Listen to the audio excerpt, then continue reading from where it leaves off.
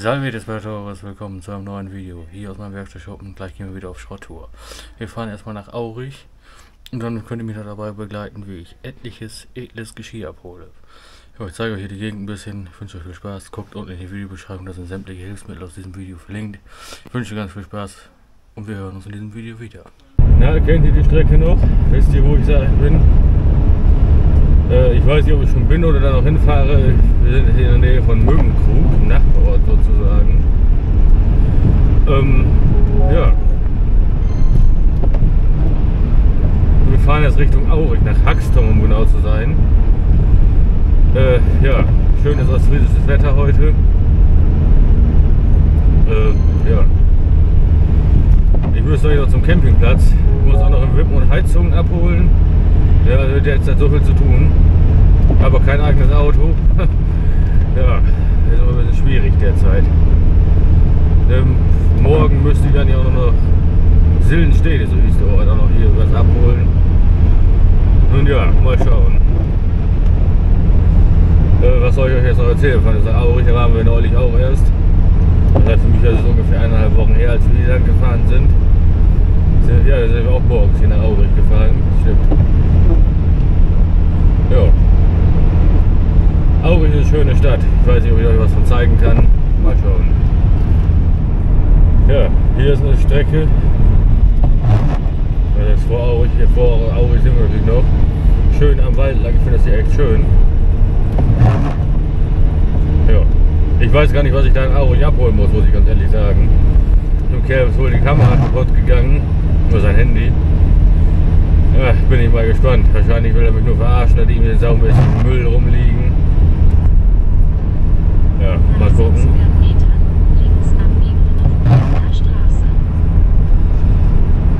Auf jeden Fall sollen auch zwei Satz Alufelgen dabei sein, das weiß ich wohl. Das Blöde sind ja so ein Reifen drauf und ich habe keine Abzugsmaschine. Ich habe auch keinen Platz, mir die hinzustellen. Ich meine, die 200, 300 Euro, die der Gebrauch kostet, ist mir scheißegal. Ja, also ich habe keinen Platz da ganze Kacke dahin zu stellen. Und ich habe auch keine Lust, noch irgendwelche Räume anzumieten bei den heutigen Mietpreisen. Ja, ein gutes Stückchen näher an Aurich angekommen. Aurich fahre ich eigentlich normalerweise gar nicht an, weil es einfach alles zu weit weg ist, äh, zu lange dauert, zu viel Sprit kostet. Ich meine, ich muss hier nicht abbremsen oder sowas, das ist schon mal ein Vorteil. Äh, ich kann hier so geradeaus fahren, mehr oder minder kann das dann alles einsammeln oder abfahren. Aurich Stadt ist natürlich Stadtgebiet, da muss man öfter erstmal beschleunigen und anfahren und abbremsen. Das ist das, was Sprit kostet. Äh, Aurich kann auch ganz gut türkisch sein, das ist nämlich eine Altstadt. Ich habe da ja alle meine Führerscheine, weil ich habe es schon mal im letzten Video gesagt. Äh, das ist, kann, ist kann, kann ganz gut nervig sein in der Hour. Besonders wenn man einen LKW fährt ohne Fahrpraxis, das ist echt nicht witzig.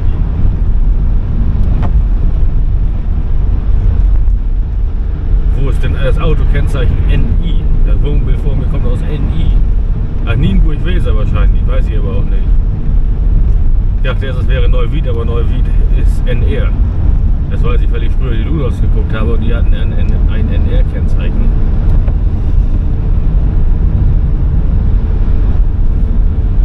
Gefallen euch diese POV oder POV Point of View Aufnahmen? Ja, wenn ich, ich hab, halte euch und also die Kamera und das Lenkrad mit, mit der gleichen Hand fest. Wenn ich jetzt drehe, dann drehe ich euch mit. Stelle ich mir als aus Zuschauersicht ganz interessant vor. Schreibt mir gerne mal eure Meinung dazu in die Kommentare. Und schreibt mir auch gerne mal in die Kommentare, ob ich weiterhin Schrotttouren machen soll, ob ich euch da mitnehmen soll. Wenn ihr da keine Lust zu habt, brauche ich das nicht zu machen. Verdursten wir heute wohl nicht. Vor uns fährt ein Milch-LKW sieht für euch so unglaublich weit aus. Ist aber nur 20 Meter vor mir. Da vorne wäre noch ein Bagger. Scheiße. Du.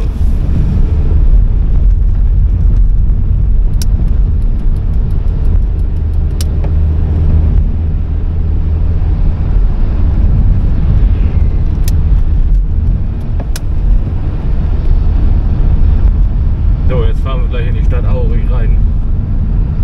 Ja, ich bin natürlich wieder ein bisschen spät dran, aber gut. Aurich wird natürlich mal wieder rumgerissen. Das ist mir neulich schon mal aufgefallen, als ich für, die, Tür hingefahren bin. Uh. Äh, du. nicht hin. So, nun habe ich es auch geschnallt. Ich habe echt keine Ahnung, aber ich fahre total ungern lang.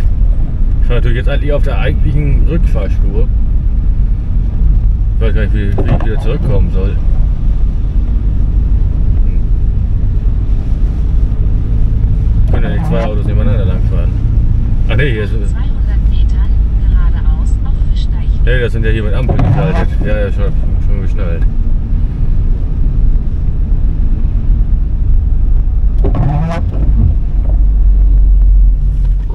Oh, hier ist jetzt äh, Carolinenhof, wo es jetzt da jetzt auch Hector drin ist. Ich komme hier nicht mehr hin. Früher, als ich einen Führerschein gemacht habe, war ich hier jeden Tag. Ja. Da hängen Schilder drin oder Reklameschilder. Die Rahmen davon habe ich geschweißt in diesem Laden. Bacio, italienisch für Kuss.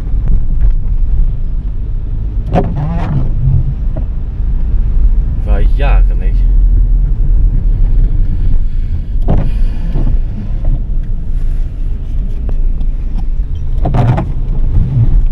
So, ich wollte noch ein paar Impressionen der Auricher Innenstadt zeigen. Wie ich gerade schon mal gesagt habe, Aurich ist eine Altstadt. Äh, ja, aber wirklich eine schöne Stadt. Also hier kann man sich wohlfühlen. Jupp, er nimmt mir noch die Vorfahrt.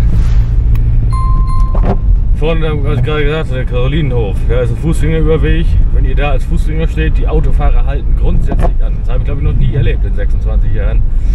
Dass, mich da mal, dass ich da lange warten muss, dass mich Autofahrer nicht durchgelassen haben. Das muss ich wirklich sagen. Ach nee, das ist ja auch, macht ja auch Sinn, die müssen ja anhalten, weil das ein Fußgängerüberweg ist. Entschuldigung.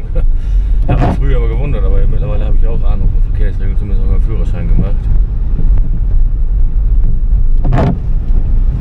So, ah, wir sind schon in Haxtum, so weit müssen wir nicht mehr fahren. Ich bin mal gespannt, was ich da von Gedöns abholen muss. Nach 200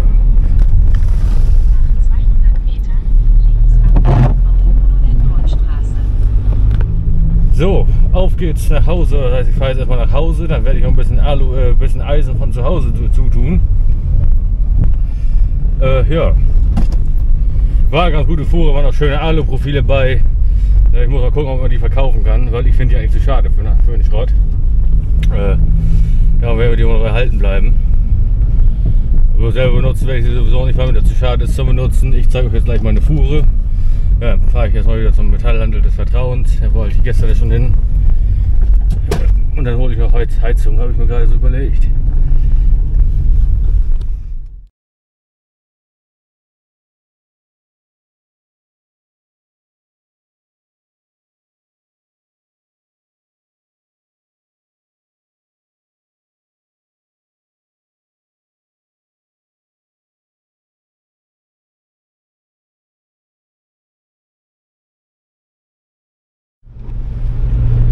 Fahre jetzt hier einen anderen Weg lang. Ich fahre jetzt hier die leere Landstraße. Ich fahre jetzt über einen ja, Schleichweg, fahre ich jetzt mal, sage ich mal, nach Hause. Äh, hat einfach den Grund. Erstmal funktioniert mein Blinker mal wieder nicht vernünftig. Zweitens wollte ich euch gerne noch was anderes zeigen von meiner Gegend hier. Hier in der Nähe soll die Firma von Hettinger, da habe ich neulich ein Türschlossersatzteil gekauft. Äh, und ich wollte halt mit dem großen Anhänger da durch die, durch die Baustelle fahren. Ja, der Kerl, den ich gerade abgeholt habe, der war super nett. Ja, auch mit angefasst, hat auch beim Netz mit angefasst. Das finde ich immer sehr, sehr hilfreich und nett und auch für in der heutigen Zeit nicht mehr selbstverständlich leider. Oh, da fährt ein Opel Sintra mit Bullenfänger vorne drin. Äh, nee, war wirklich sehr freundlich. Auch großzügig. Da hätte man auch, er wollte kein Geld haben. Ich habe ihm auch keins angeboten, muss ich ganz ehrlich sagen. Aber der war auch froh, dass es los ist. Er musste leider umziehen. Wirklich sehr freundlich, der Kerl. Auch verständnisvoll, dass man nicht für einen, von, von, von Wittmund aus nach Aue für einen Trockner oder so was fahren kann. Ne, war wirklich in Ordnung, der Kerl. Ich hatte eigentlich gar keine Lust, hierher zu fahren, aber war wohl in Ordnung. Ich habe hier mal irgendwo, weil ich hier meine Führerscheine gemacht habe, irgendwelche Schleichwege gefunden, wie man hier nach, von, wieder nach Hause kommt, Richtung Süden. Äh, ja, habe das neulich, als ich hier mein Türschlossersatzteil gekauft habe, habe ich das sogar wiedergefunden. Mal schauen, ob ich das heute auch wieder schaffe. Coole Gegend hier. Wir sind Popens müsste das noch sein, weil es stand gerade Popenser Kiosk drauf. Und dicker Hügel. Kann aber wohl am Fahrverhalten vom Auto merken, dass da wohl hinten Gewicht drauf ist.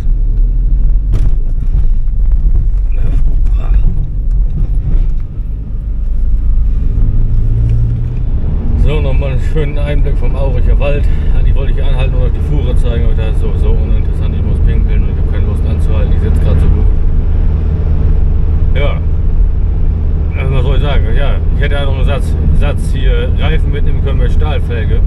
Also Kompletträder. Bloß da ich keine Abzugsmaschine habe, würde sich das für mich nicht lohnen. Und er arbeitet im Reifenhandel. Äh, dann kann er sich die da entsorgen. Was soll ich das machen? Ich, ich krieg die nicht los. Äh, und einen Satz Alufelgen, den er mir versprochen hat, wollte seine Frau doch behalten. Von daher ist es, denke ich mal, alles in Ordnung. Äh, ja, ich muss mir mal eine Reifenabzugsmaschine kaufen. Und einen Platz, wo ich den hinstellen kann. Die ich hinstellen kann.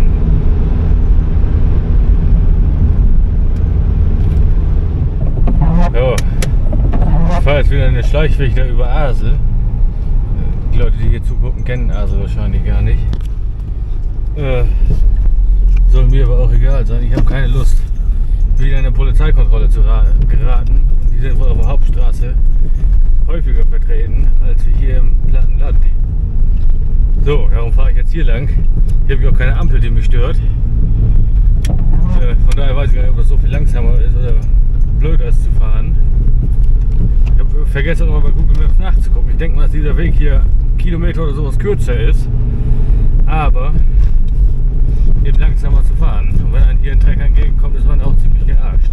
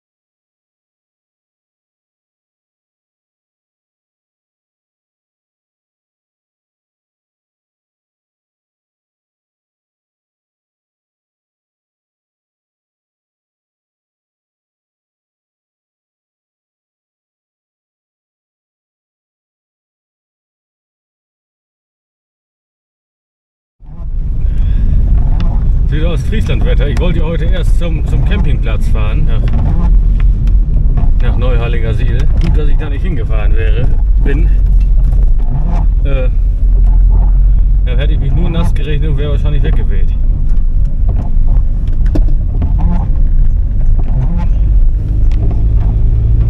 Äh, Ich habe zwar beim Kunden nicht angerufen, aber ich denke mal, der hat Verständnis dafür, wenn ich morgen komme. Ich wollte erst heute Nachmittag dahin, aber ich habe da auch einfach keinen Bock zu. Muss ich am frühen Vormittag hin. Ah, schade, ihr seht das aber Kamera nicht. Äh, der LKW, der bedeutend zu schnell fährt. Ich fahre 384 und der fährt noch ein gutes Stück vor mir. Äh, hat so ein schönes Airbrush hinten auf dem Fahrerhaus drauf, aber das kann ich euch nicht leider nicht. Ich kann natürlich nicht näher ranfahren, also ich darf es nicht. Ohoho, fährt aber auf Schnurstracks mit 85, äh, fast 9, ich muss schon 90 fahren. Durch die 70er-Zone. Tja, die kann ich das Airbrush leider nicht zeigen. Ich kann auch mit der Kamera jetzt nicht zoomen. Kann ich wohl, aber ich kann nicht gleichzeitig Auto fahren. So. Ich muss aber wieder orientieren, wo ich hinfahren muss. Ich muss nämlich auch Heizung abholen. Ich weiß nicht, ob ich das heute Morgen mal gesagt habe.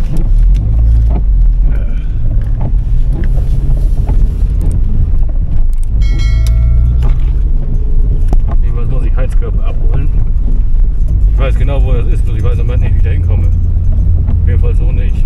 Doch, doch. So auch. Also hier seht ihr unten drunter die Heizung, von der ich sprach. Ich glaube, das ist jetzt mein Urlaub. Das habe ich noch nie erlebt, dass einer die Kupferrohre mit abgibt. Und dieses Stück, was ich hier in der Hand halte, das wiegt ungefähr 300 Gramm. Das ist schon ein Warenwert von ungefähr 2 Euro. Und ich habe noch einen dicken Berg Heizkörper und die dicken Leitern. Ich habe noch eine längere Leiter abholen können, bloß die muss ich morgen nochmal abholen. Ja, weil ich kriegte sie nicht da drauf. Das war 5 Meter lang gewesen sein, die Leiter. Hier ist meine super duper Aldi-Sackkarre, finden wir in der Videobeschreibung eine ähnliche. Ja, und ich habe mir noch eine Tür abgeholt, damit ich mein Carport verriegeln kann. So, stehe ich hier mal wieder in Jever an der Kreuzung. Ich habe gerade eine Fuhre weggefahren. Und dann geht's äh, jetzt nach Sillenstede. Da war ich mit euch noch nicht. Mit Harry war ich da ein paar Mal. Ich weiß nicht, ob er da eine Kamera mit hatte. Sillenstede liegt bei Shortens. Shortens liegt bei Wilhelmshaven. Ist eigentlich eine ganz schöne Gegend. So wie hier Jever auch. Oder fährt ein MAN Lion City. Ja, schöne Gegend. Ich dachte, ich weiß nicht, der Mann, der euch da abholen soll, ist auch ganz cool drauf. Ich dachte, fahr da mal hin, das ist jetzt von hier aus nicht so weit weg. Ich wollte heute eigentlich zum Campingplatz, aber mein Anhänger hat nicht funktioniert. Äh, der ließ sich einfach nicht draufsetzen auf die Klaue. Da sagte mein Kumpel Elektro Joe mir, ich soll da ein bisschen mit Hufos rumhebeln. Nun funktionierte aber alles.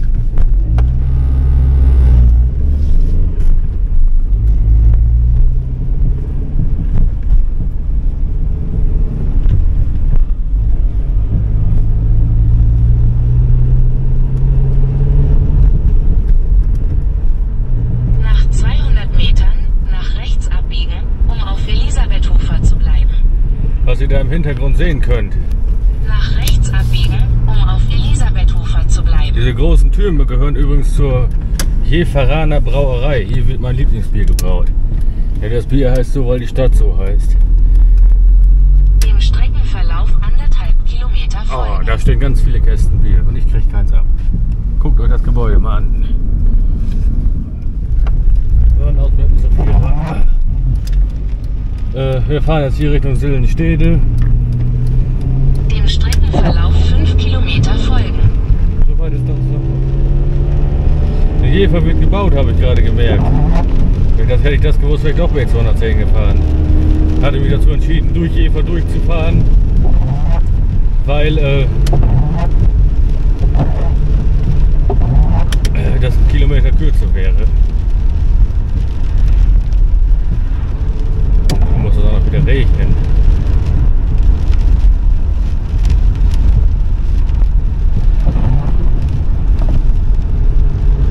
Eigentlich müsste ich in Jever noch Holz abholen, was ich mal im Video von vor drei Wochen oder was, was ich gesagt habe. Äh, könnte ich jetzt machen, aber ich habe da jetzt einfach keine Lust zu, weil das so blöd da ist zu fahren. Ne, das ist echt nicht witzig. Dann fahren wir mal zum lieben Manfred. Also irgendwie bin ich ja ganz froh, dass ich nicht zum Campingplatz gefahren bin. Erstmal habe ich keine Lust, den ganzen Scheiß da zu tragen. Zweitens, wenn es hier schon windig ist und regnerisch ist, ich mag das ja wohl 35 Kilometer nördlich sein, stelle ich mir nicht so witzig vor. Ja, morgen muss ich dann dahin. Heute haben wir den ersten, zweiten, morgen am zweiten, zweiten, am zweiten, zweiten muss ich dann nochmal dahin. Ich wundere, dass der Kerl noch gar nicht angerufen hat, aber hat er noch nicht. Äh, ja, schreibt mir gerne mal in die Kommentare, ob ich weiterhin solche Schrotttouren machen soll. Meine, bislang habe ich da nicht immer nur positive Resonanz zu bekommen. Nur in dem Video, was ich dann halt äh, am 30. Januar veröffentlicht habe, da war die Hintergrundmelodie zu laut äh, und ihr konntet mich nicht verstehen. Da muss ich auch eingestehen, äh, es geht aber nicht anders. Weil das Mikrofon von der Action Cam, die ich jetzt hier benutze, nicht so stark ist wie das von der normalen Kamera, die ich habe und ich die Hintergrundmelodie nicht leiser schalten kann im Videoschnitt, als ich es sowieso schon mache.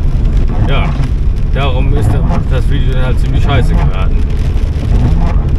Aber mal schauen, wir schlagen uns weiter durch, ich mich. Ich habe gerade erstmal 130 oder 140 Euro eingesackt. Ja, kann ich mir gleich was Vernünftiges zu essen kaufen. Hey, also sowas, das ist ein Wetter, das ist ja grauenhaft. Ich bin wirklich froh, dass ich nicht zum Campingplatz gefahren bin. Ich hätte mich da nass regnen lassen bis zum Geld nicht mehr. Ich hoffe, es ist morgen ein vernünftiges Wetter. Das ist so.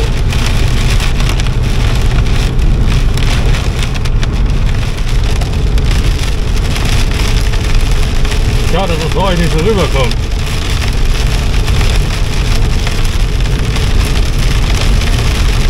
Ich fahre jetzt erstmal zu McDonalds, ich habe Hunger.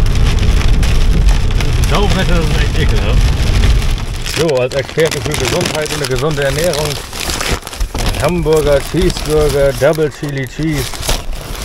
Die mache ich besonders gerne. Sind aber auch schon wieder teurer geworden.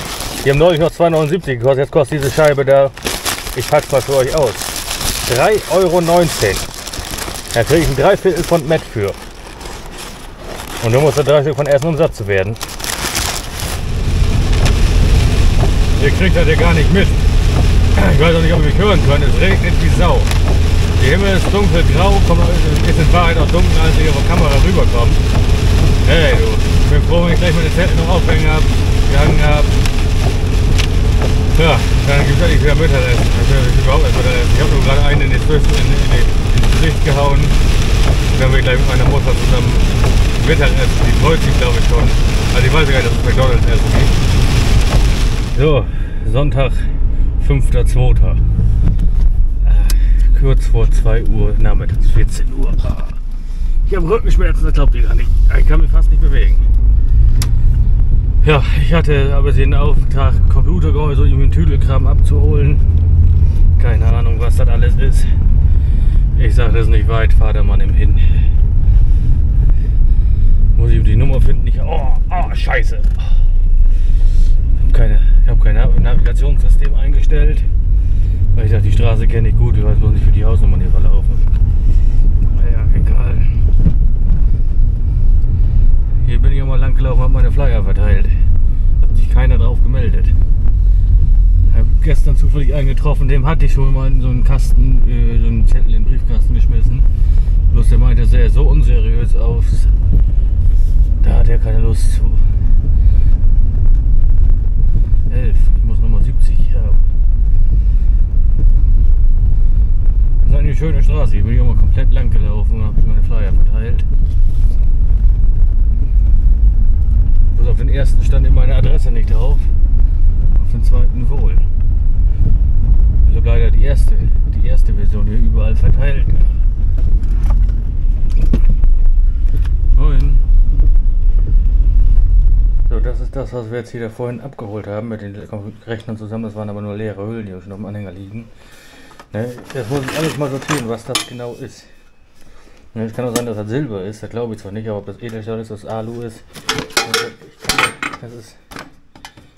Ich weiß es nicht. Ich muss ich auch Harry mal nachfragen. Ich kenne mich mit solchen Metallen gar nicht aus. Ne, kennt ihr Schnibbelbohnen? Bohnen, eine Schneidemaschine. Die ist sogar noch heile, die mal versuchen zu verkaufen. Äh, ich habe neulich auch einen alten, Messerschärfer verkauft, auch aus den 70er Jahren. Der hat 15 Euro gebracht. Hätte ich jetzt auch nicht gedacht. Ich kann mir vorstellen, dass jemand sowas noch haben will. Macht zwar heute keiner mehr Schnippelbohnen, aber so ist es dann eben.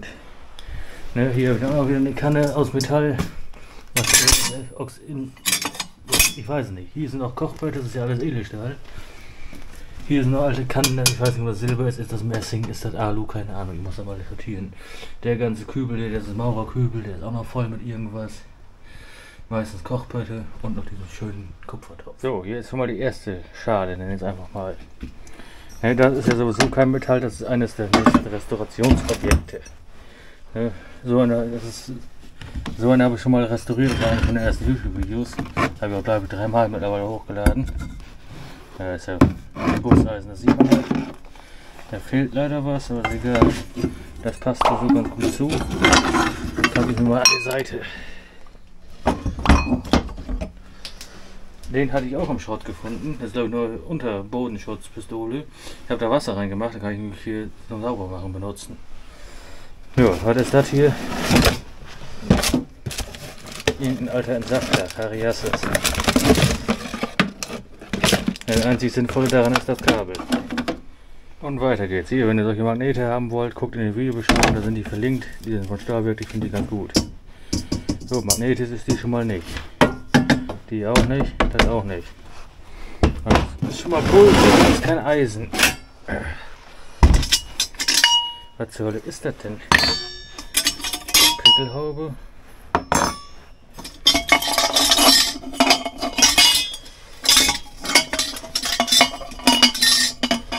Milchkännchen.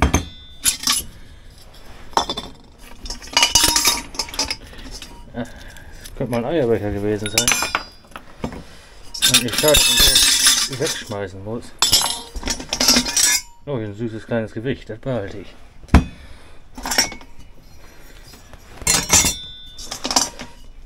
Noch ein Gewicht. Das Gewicht haben die Leute früher gesammelt und die früher gar richtig Geld für bezahlt. Das hat 500 Gramm.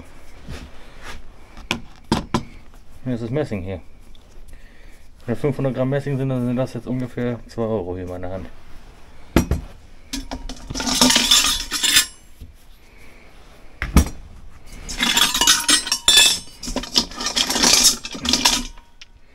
Noch mehr Messinggewichte.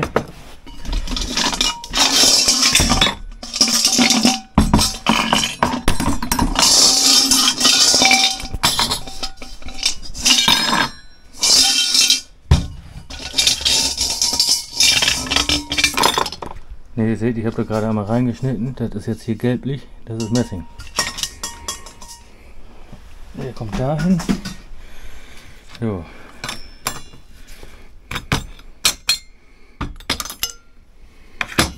Das ist schon mal Eisen, das ist Kacke, kann da rein.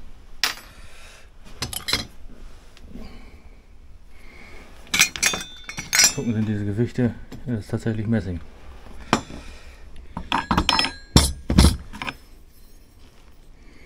Das müsste Edelstahl sein. Mit einer Messingschicht drauf. Ist aber kein Messing. Oder ist es, nee. Kann auch vernickeltes Messing sein. Ich weiß es gar nicht. Ja, ist ja sonst irgendwie was magnetisch. Also diese Eisengewichte behalte ich. Ja, die kann ich nochmal, wenn ich hier irgendwie Zitronensäurebad mache, damit reinmachen, damit ich nicht so viel Säure anrühren muss. Das Kännchen ist auch Metall. Da weiß ich so nicht, was das ist. Ja gut, das war Edelstahl, das können wir herausstellen. Was das hier ist, alles ist, weiß ich so nicht. Der Bau, der war ja Eisen, ist ja egal. Äh, das ist eine Edelstahl-Dinge, das ist ein Edelstahl-Teller. Das hier ist Messing. Äh, Glaube ich nicht, dass mir da einer mehr für bezahlen würde als den Warenwert, also geht das auch in Schrott. Äh, und diese schönen Teller, alles Eisen, alles magnetisch. So, das ist der Maurerkübel, den ich eben gezeigt habe. Sowas kriegt man natürlich nie seltenst geschenkt. Muss ich sowieso noch hier die, die äh, Henkel abmachen, das ist nämlich Messing und das ist natürlich Kupfer. Hoffentlich kriege ich die ganz ab, weil ich die ganz, ganz schön finde. Mal schauen. Hier von der Seite. Einen schönen Olympiakasten kann man auch mal gebrauchen. Wollen auch viele haben, also kommt ja auch nicht in den Schrott. Äh, brauchen ein größeres Haus. Also Kochbötte drin. Ich gucke das mal nach, ob die irgendwie was sind. Ja, immer noch nicht weitergekommen. Das sind alles Edelstahlpötte. Muss ich morgen den, heute für mich Sonntag, damit darf ich wieder einen Krach machen. Die äh, Henkel abhauen, die Griffe abmachen. Das ist die einzige Pfanne, die hier aus Eisen war. Was das hier ist, weiß ich nicht. Es ist jedenfalls nicht magnetisch. Magnetisch. Steht hier leider nichts drauf. Könnte sogar Kupfer sein, ich weiß es nicht.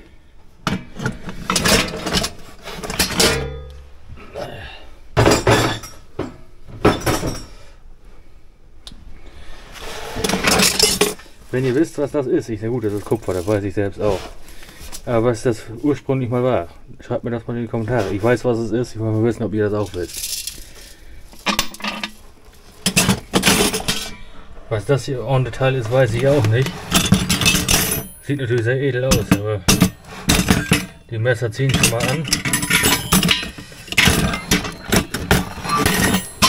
Keine Ahnung. Schade ist auch, dass da keiner mehr Geld für bezahlt. Ich meine, die haben natürlich einen Warenwert, aber als Dekorationsobjekt oder sowas ähnliches kauft das natürlich keiner mehr ab. Hier haben wir nochmal eine Truhe voll mit altem Geschirr oder altem Besteck. Hier ist leider alles, leider oder zum Glück nicht magnetisch. Uh, Eon B90, keine Ahnung wofür das steht. Ich, ich muss mich da echt mal schlau machen, wo, was das eigentlich überhaupt ist, was hier vor mir liegt. Das könnte auch richtige Silber sein. Wird es wahrscheinlich nicht sein bei meinem Glück, aber äh, egal. Ja, dieses Kännchen war auch dabei. Um, magnetisch ist es nicht, da müsst ihr mir mal glauben. Hier steht nämlich auch was Interessantes drauf. Ich weiß nicht, ob ihr das erkennen könnt. Ich glaube nämlich nicht. Da steht drauf Walker Silver and Silver Chef. Das ist ja nicht wirklich Silber, oder? Wenn das Ding wiegt ungefähr ein Kilo, das wäre ja 20 Euro. So, glaube, das ist jetzt der letzte Teil für dieses Video, ne, der vorletzte. Ich würde gleich noch was zeigen. Wir fahren jetzt hier nach Angelsburg, das Nach liegt auch bei 300 Wildmond. Metern rechts abbiegen auf Hattersummer Ah, Straße. da muss ich hin. Ne? Eigentlich kein spektakuläres Unterfangen. Ich soll irgendwie so ein Fitnessgerät abholen. Hoffentlich passt das ins Auto. Den Sprinter, da hätte ich gerne, den schwarzen. Rechts abbiegen auf Hattersummer Straße. Dann befindet sich das Sag mal so, das Coolste, was ich in den letzten Tagen eingesammelt habe, war diese Bohrmaschine von Intercren. Baujahr 1990. Intercren ist eine bekannte Firma. Natürlich mein ersten Akkuschrauber war auch von Intercren. Hat natürlich keine Leistung im Vergleich zu heute. Ich stecke jetzt mal das Kabel in die Steckdose.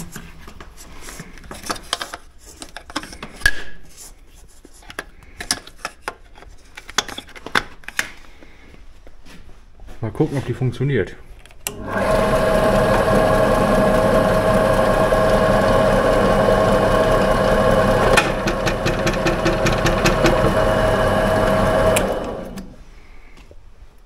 Eier zwar ein bisschen, aber für den Privatgebrauch reicht das wohl. Das ist übrigens hier Tabasco. Den habe ich damals gekauft mit meinem XXL Schnapskonvolut zusammen. Habe ich über 400 Flaschen Schnaps gekauft. Und der Tabasco ist so alt, der hat kein Mindesthaltbarkeitsdatum. Findet ihr übrigens auch bei meinem eBay-Account. Ja, ich habe das fünf Tage später immer noch nicht geschafft, dass ich hier nachzugucken, was das ist. Ich habe einfach keine Lust zu. Und ich restauriere parallel noch eine Glocke und eine Laterne. Ja, und nun ist es auch wirklich genug gewesen für dieses Video. Ja, ich wollte euch noch verabschieden. Ich bedanke mich dafür, dass ihr zugeschaut habt. Guckt auch gerne beim nächsten Mal wieder rein, wenn ich euch ja, mein Leben mit ein wenig näher bringe, wenn ich euch die Gegend hier in Ostfriesland, Friesland ein bisschen näher bringe. Ich hoffe, euch hat es wieder Spaß gemacht, so wie die letzten Mal. Die letzten Male euch, bei euch kam die Shorttournee immer ganz gut an. Da machen wir das auch in Zukunft weiter. Ja, ähm, Restaurationen werde ich wohl nicht mehr so häufig machen, wie ich das früher gemacht habe, weil einfach das Schrottgefahre und das Filmerei, die Filmerei dabei für mich finanziell attraktiver sind, weniger Arbeit im Schnitt vor allem sind. Ja, ab und zu nochmal ein Tobacco-Review, äh, einfach weil es kein Geld dafür gibt. Ab und zu koche ich vielleicht mal wieder. Ja, ich wünsche euch jetzt ganz viel Spaß. Guckt nochmal unten in die Videobeschreibung, werde da verlinken, was ich die Hilfsmittel verlinken, die ich benutzt habe. Ich weiß es glaube ich nur, es waren jetzt nur die Schweißerwinkel. Äh, ich weiß nicht, was ich noch so verwendet habe. Bis bald. Tschüss.